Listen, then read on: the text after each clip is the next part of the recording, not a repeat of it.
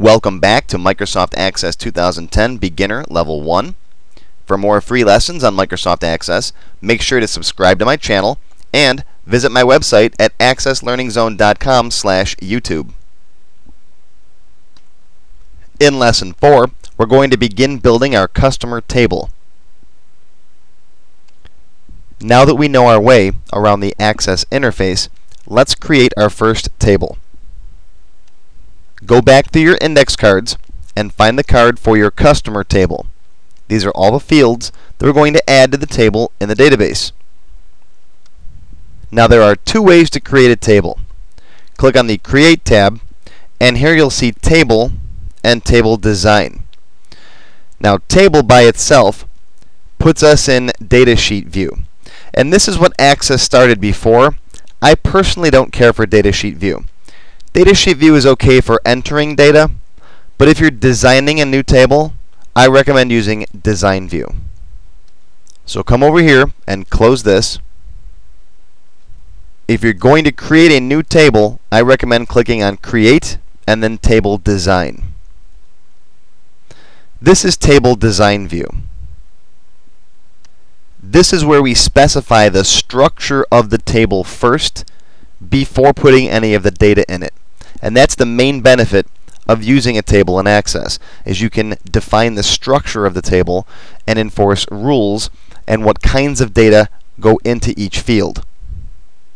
Spreadsheet programs like Microsoft Excel just let anybody type anything anywhere on the sheet, where with Access, we want strict control over what information goes where. Down below here, you can see we have three columns. The first column is where we type in the field name. Then we specify the data type, what kind of information does this field hold. Then optionally we can type in a description. So let's start off with our first field. In this case, first name. Remember, I don't like putting spaces in my field names. So it's capital first, no space, capital name. Now this is really more of a matter of style than anything else, but this is my personal preferred style. You might see some other Access developers or authors of other books use underscores.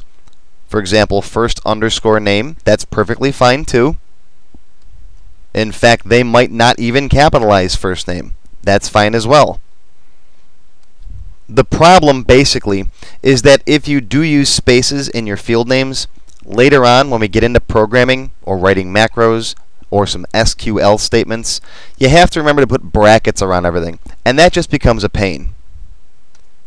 So choose one method of naming your fields and maintain consistency. Personally, I recommend that you stick with my naming conventions. Once you've got first name typed in, press the Tab key.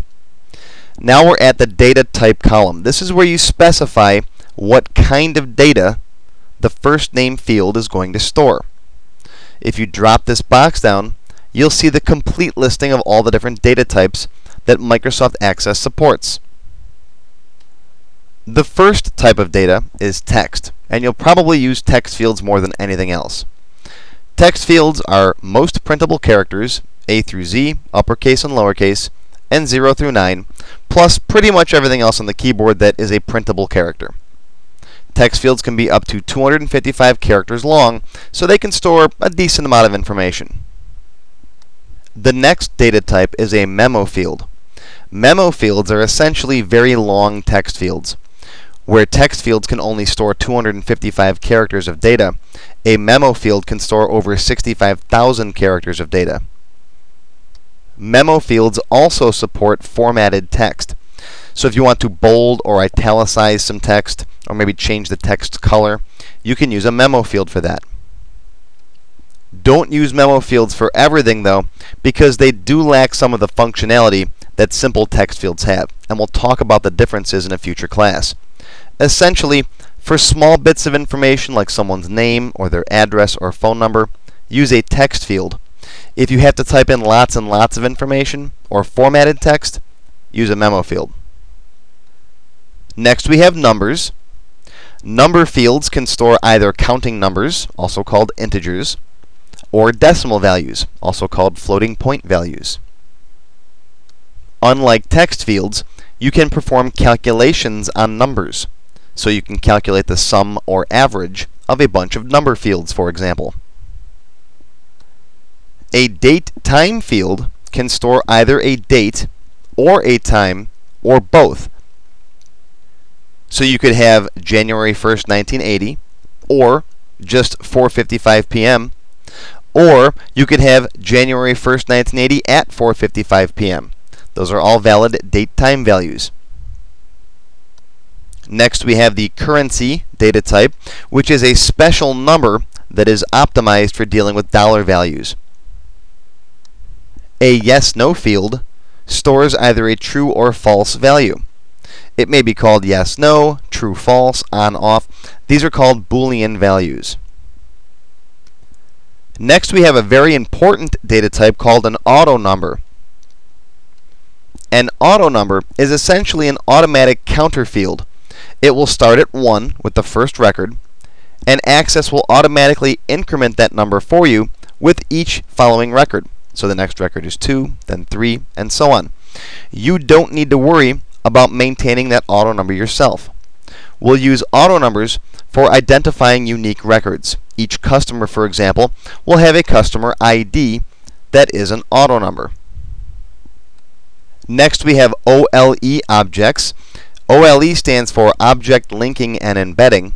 And this is basically anything that you can copy and paste in Windows. It can be a picture, a document file, a video, an Excel spreadsheet, a sound clip, anything you can copy and paste in Windows can generally be stored in an OLE object. Similar to an OLE object, an attachment data type field can store pretty much any kind of file in Windows. Attachment fields have some advantages and disadvantages.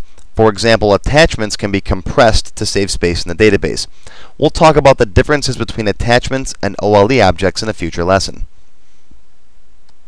A hyperlink field is good for storing a link to a web page or an email address. If the user clicks on the hyperlink, their web browser or email program will launch automatically. A calculated field stores the result of a calculation in your table. For example, you might have sale price minus unit cost equals profit, and you can store that in a profit field. Generally, I don't recommend using calculated fields. We're going to do calculations in our queries. There are some exceptions, and we'll talk about those later. Finally, we have the lookup wizard. The lookup wizard allows you to look up a value from another table. For example, you could use it to select a customer while you're in your order table. Personally, I don't like lookup wizards. We'll talk about lookup wizards in a future class. So now that we know the basics of all the different data types, which one do you think we should use for the first name field? That one's pretty easy. Let's pick text for that one. Now you can optionally type in a description over here. You don't have to. In fact, I almost never use descriptions. You can type in, this is the customer's first name, and that will explain to someone else using the database what this field represents. The description field will show up in the status bar on the bottom of a form when a user is typing in data into that field. But again, personally, I almost never use them. So let's move down here and type in the next field name. Let's go with last name. Last, no space, capital, name. We'll also make that a text field. Tab, tab. That'll move us to the next row. Now, what about fields for middle initial or middle name? Prefix, like Mr. or Miss. Suffix, like senior or junior. That's completely up to you. Create as many fields as you want to store whatever data you think you're ever going to need. For the purposes of class, I'm going to keep things simple and just use first name and last name. That's all I ever use in my business, and that's I think what most companies use. But again, break down your information as much as possible. If you ever think you're going to need it in the future, create a field for it. It's much easier to put data fields together later on than it is to try and split them apart. So if you ever think you're going to need a salutation field, add that in now. Continuing on, I'm going to type in a company name field. That's also text. Let's add an address field. That's also text. Now, I've always been happy with a single address field. Some people have address 1, address 2. I don't bother because an address line will wrap around to a second line if necessary if you go to print it out on a report. However, I've also seen some people break the address field down into the street number, the street name, and the street type, whether it's a drive, avenue, and so on. So that's really a decision that you have to make. For me personally, I've always been happy with a single address line. I will create separate fields for city, state, postal code, and country and those are all text fields. Make sure you subscribe to my channel right now. And also, don't forget to visit my website at accesslearningzone.com slash YouTube for more advanced lessons and other specials just for YouTube viewers.